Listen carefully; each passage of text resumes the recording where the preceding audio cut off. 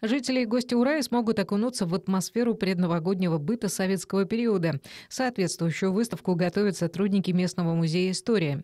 Экспозиция развернется в культурно-историческом центре. В канун Нового года посетители смогут оказаться в советской квартире, узнать о том, как этот праздник отмечали их бабушки и дедушки, сделать бумажный фонарик для украшения новогодней елки, а также посостязаться в силе и ловкости даже встретиться с Дедом Морозом и Снегурочкой.